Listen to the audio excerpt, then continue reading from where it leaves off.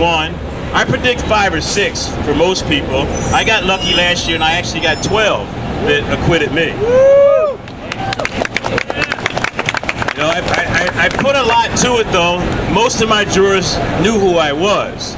But I still think that anybody arguing the same arguments that the law's wrong, you know, you'll, you'll have sympathizers on the jury and you only need one. You know, how many people realize that? You only need one.